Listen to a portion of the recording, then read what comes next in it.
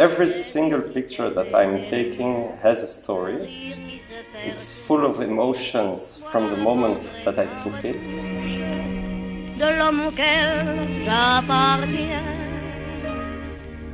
Quand il me prend dans ses bras, Making La Vie en Rose was a crazy idea, like all my ideas that I have when they start.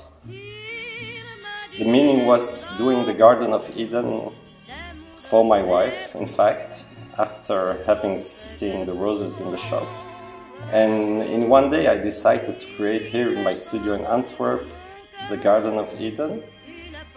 We started shooting, and automatically there was one sentence that came through my mind, and it was La Vie en Rose. And I knew it from the moment I did it, this will touch people. This will touch them deeply inside. Some will be happy, some will be sad, some will start thinking, and some people just will, will admire it. And in New York, people started to cry in front of this picture. You cannot explain this with words.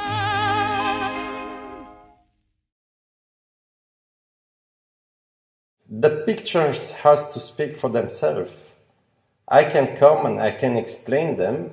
I can explain what's happening on the picture, the story behind them. But the fabulous thing about photography and art in general is that people can make their own story in their mind about what they are looking.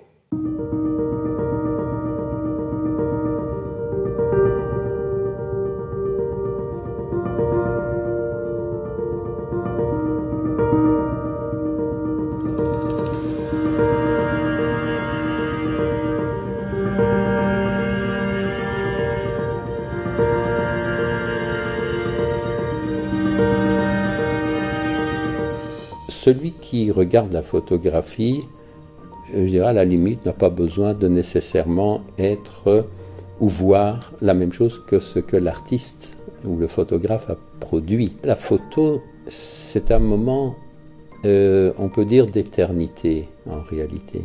On, on voit quelque chose, on prend son appareil, on fait la photo, on saisit un moment. C'est un moment en réalité qui est fugace, mais on le rend éternel. Mais cette éternité, pour moi, c'est pas tellement le photographe qui l'a fait, c'est qu'il a l'intuition de se rendre compte que c'est un moment d'éternité qu'il est en train de photographier, parce que c'est ça le, le réel qui traverse tous les temps.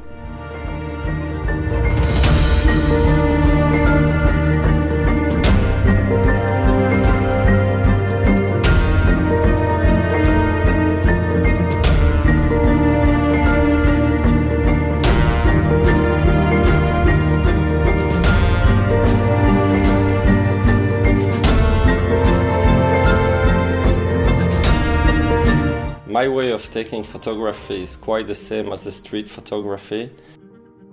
I work with my instinct, an idea that can come to me, I can start working on it the next day.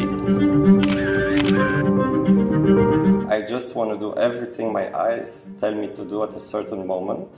I see something and I imagine how will I capture this moment and I decide how I will do it. But it's never the same because there's no two same moments. I let my feelings come out just like this. Je cherche à faire des trucs qui me viennent et qui, qui restent de l'art. Tu comprends? Ça vient de l'intérieur, c'est la vérité. On sait pas d'où ça vient.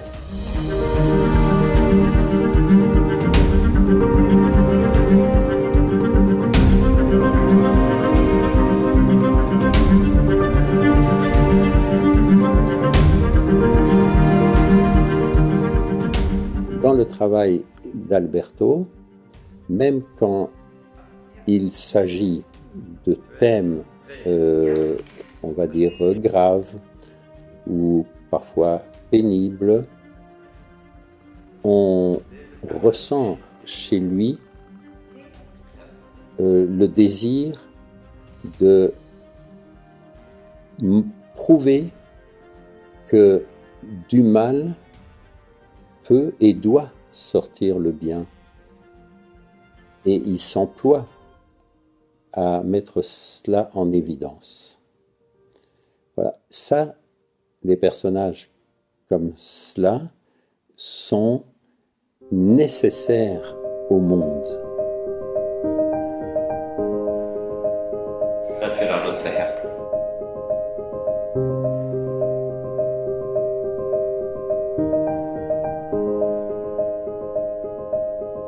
Je suis très honorée d'avoir rencontré un homme euh, qui a une, puissance de conviction comme Alberto euh, pour pouvoir, avec moi, euh, défendre les femmes victimes de violences conjugales. c'est important que ce soit un homme. C'est un regard, le regard d'un homme posé sur ces femmes-là qui doivent non plus se sentir victimes, mais se sentir fortes,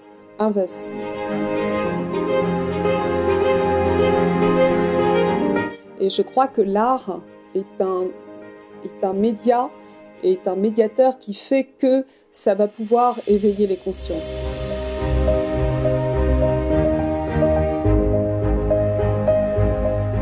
But the real thing about empowered women is to save lives.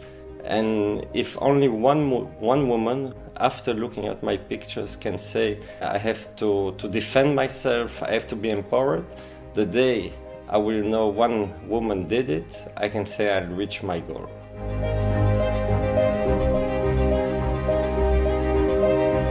Euh, il sait ce qu'il veut. Euh, il n'y a pas de, euh, de, préméditation dans ce qu'il fait. C'est très euh, spontané, instantané, mais en même temps, euh, il n'a pas peur. Il n'a pas peur de ce qu'il va trouver et il sait qu'il va trouver. When I have something in my mind and I think it's possible, I will do it. and it will touch the hearts and it will again give emotions to people. Mais si on avait des personnes comme Alberto qui essayent à travers des sujets difficiles de montrer qu'il y a une voie de sortie vers le beau, vers le bien, vers l'amour, vers la compréhension, ça c'est très rare.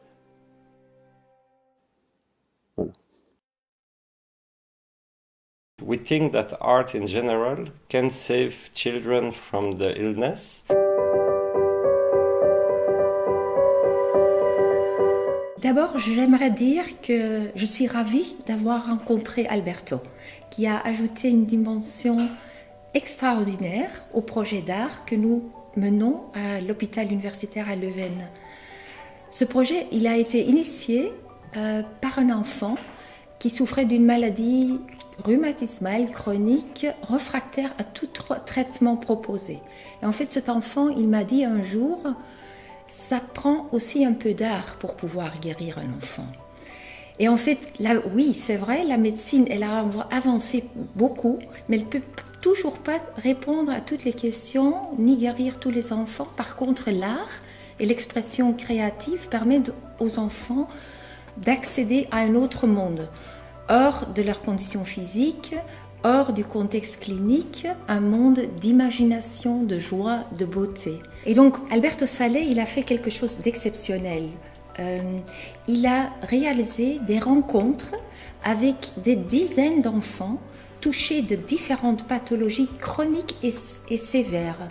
Et durant les photoshoots, il a pu créer avec ses enfants des moments presque magiques magnifiques, des moments de merveille, de joie, inoubliables pour les enfants, pour les parents et en fait pour nous, tous.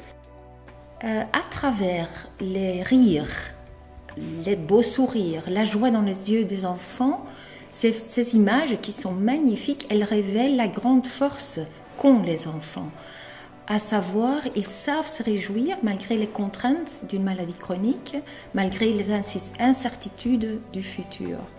Donc, ces photos ont pu révéler que ces enfants sont de vrais héros. Whatever I can do to help some people, some children with photography, I will do it. Encore un, deux, trois.